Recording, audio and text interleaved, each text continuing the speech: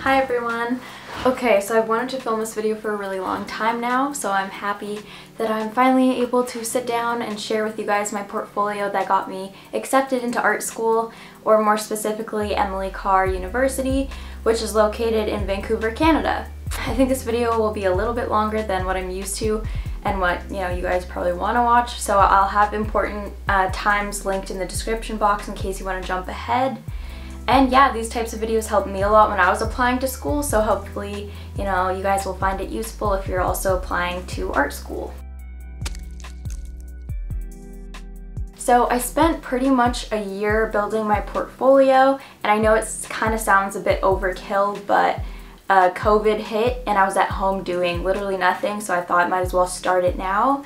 And I pretty much started it from scratch because I didn't really have any big pieces at the time that I wanted to put into a portfolio.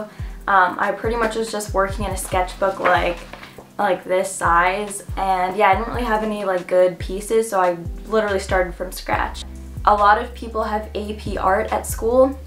I didn't so it was again kind of hard because I had to kind of work on my pieces kind of by myself. I didn't really have much direction uh, from school. The only person that really, really helped me on my portfolio was my art teacher. He was amazing. He made a club for like me and a couple other students who were building their portfolios. So we would, you know, go after school and he would help us a lot.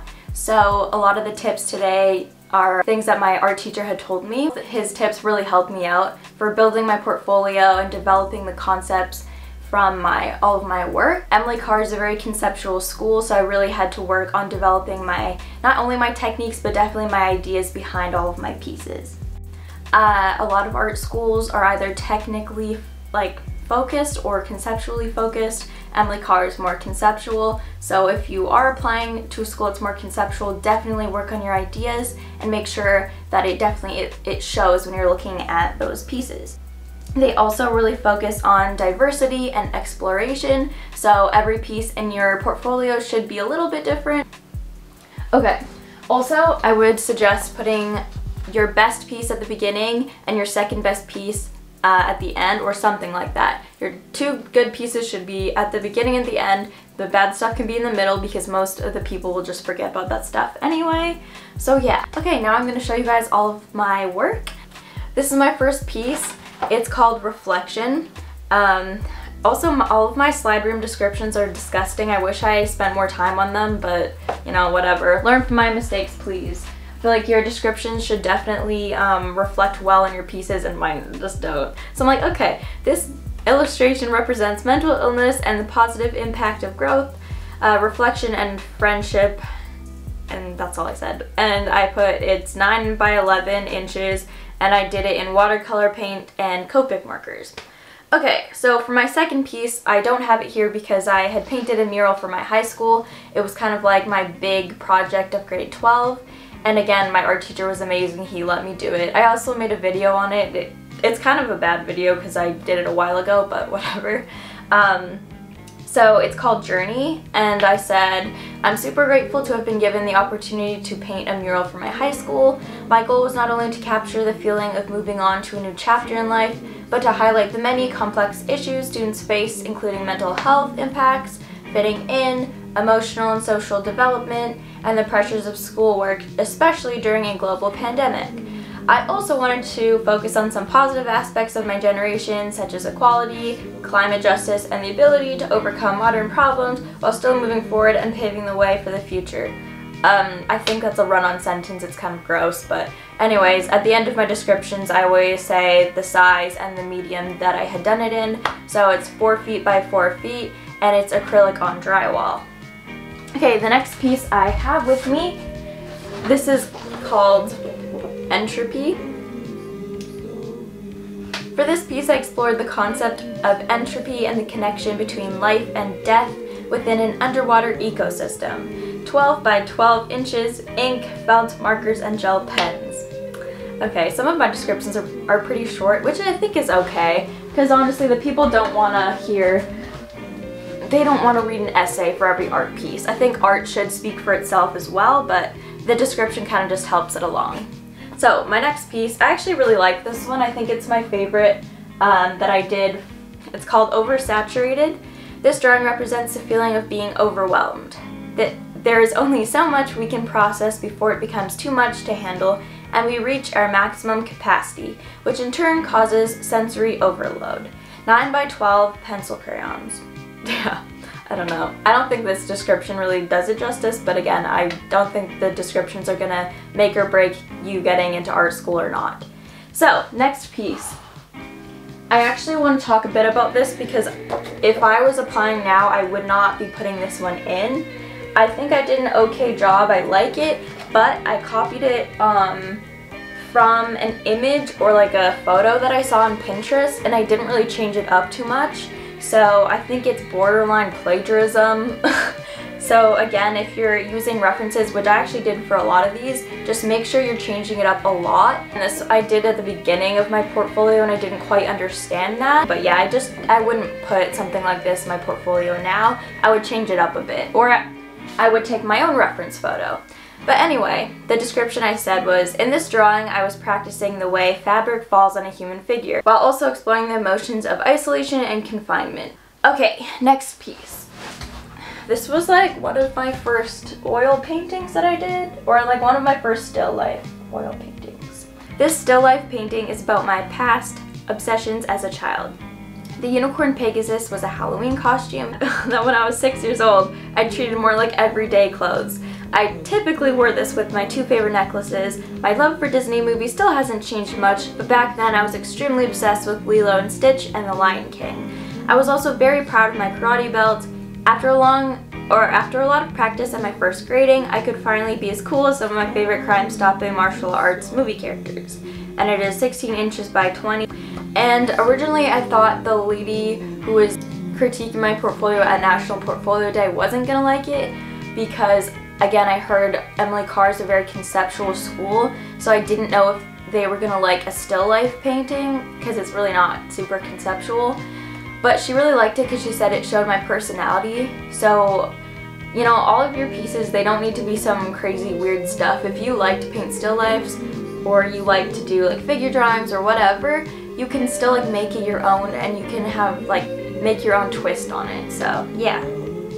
This next painting I don't have because it was a commission, so I gave it to the lady that I was working with, but yeah, the title is just commission painting. This was a commission painting created for a family friend of her beloved grandsons. 16 by 20 oil painting. Okay, next one. It's a sculpture of a fox with a butterfly on its nose. I created this sculpture because I'm interested with the concepts of anthropomorphism and symbiotic relationships. The fox symbolizes playfulness and wisdom, while the butterfly symbolizes transformation and hope. The butterfly is providing the fox with the ability to transform, while at the same time the fox is giving the butterfly wisdom. I believe that in order to grow and develop, we need to connect with our surroundings and learn from those around us. The base is 12 inches by 19 inches, and the height is 9.5 inches, and the materials I used were air dry clay, yarn, and origami paper. The next piece I did was in my grade 12 art class, my visual art class. Okay, so the description, oh, so big. My room is small, so I'll have everything like scattered around. Okay, so the description of this painting was, this was a high school studio arts project exploring the personal connections and self-identity that exist exists in an imaginary realm. I chose to explore my Egyptian heritage because I'm constantly learning new things about my family. Because of my dad's difficulties as a young person immigrating to Canada and trying to fit in, I didn't grow up with much Egyptian culture. I've always felt a sense of disconnection and that's why I gave my painting the feeling of mystery and uncertainty. And it is 26 by 20 and it is made with acrylic paints. This last piece of my portfolio was a video that I did. I actually worked really hard on it and I also have a video or the completed video up on my YouTube. So definitely um, go check that out after you're done watching this video. Basically, I practiced doing some animation and I also practicing doing some like filming stuff, but it was before I got my good camera, so yeah, the quality's not the best, but you know, I'm so good. So I called it What Are You? What are you is a question I am typically asked because people are often confused about my cultural background. After telling them I'm half Egyptian, it's difficult answering their questions considering I don't know much about my Egyptian heritage. For me, my dad's assimilation has always been a source of curiosity. With this in mind, I created the short film focusing on my feelings and emotions towards my background and my journey of self-discovery through food, books, art, and family. And I also added that the animation was created in Procreate. That is the bulk of my portfolio. So again, Emily Carr really wants to see a portfolio and art that's unique to you and that shows your creative thinking and your style. Um, your ability and your technique isn't really as important because you're going to school and you're going to learn anyway, but they definitely want to see your voice through your art and your concepts. And I think that's pretty similar with a lot of art schools, but definitely research what your school wants because it changes and it'll um, differ from school to school. Also, tailor your uh, portfolio to the program you're applying for. I, uh, for Emily Carr, there's a foundation year, so I didn't have to worry about uh, keeping all of my pieces like one thing because yeah, there's a foundation here, it doesn't matter. But if you're applying to, let's say, an animation program, they definitely want things that are connected to animation, like character design, background design, all that kind of stuff. So don't show them like, know, photography if that's not what you're applying for. Another thing, most universities um, make you apply through SlideRoom and it's actually really easy to use. But the one thing that I didn't understand was like how to put multiple pictures of the same piece but not let it count for like different things because at Emily Carr we were only allowed 10 pieces but I had a sculpture and I didn't know how to put like maybe two images of the sculpture without taking up two spaces. So I ended up just taking one picture of the sculpture which kind of sucked because they didn't get, you know, different angles. But I don't know, if you guys know the answer to that, just put it in the comments below. I'm sure it'll be helpful for a lot of people who, you know, need that information. So for Emily Carr, we had three prompts that we needed to do. The first one was, in one original image or 20 second media clip, answer the question, how is creativity important for both the individual and the community? This was actually the last prompt that I worked on. I was rushing it and I hate how it turned out, but you know what, whatever. My inspiration was like a female Banksy. Her pieces could empower like other people seeing them. So, I don't know. Anyways, second one. In three original images, tell us a story about yourself. So I chose karate. Karate's been a big part of my life since I was little. And I got to go to Japan in 2019. It was a trip of a lifetime. I learned a lot. I had a lot of fun. So I did three digital uh, illustrations you know, leading up to that, like me growing up in the dojo and finally getting to go on this epic trip to Japan. So yeah. Okay, third and last prompt, which was the hardest. And I worked with my art teacher on this, so thank you, Mr. Randall. Okay, using three different materials, build a model of what you would put in the center of a public space, including processes, sketches, and photographs. Another hard thing was like, they only let us put one image in here. So it's like, how do we show of the sketches and photographs and stuff if you're only allowing us to put like one attachment in. So anyways, I collaged all of my, you know, brainstorming pages and the final image into one. This ugly thing is made with paper. This is also paper. I painted it. You know, I kind of cheated on this because it's literally, there are more than three materials here, but whatever.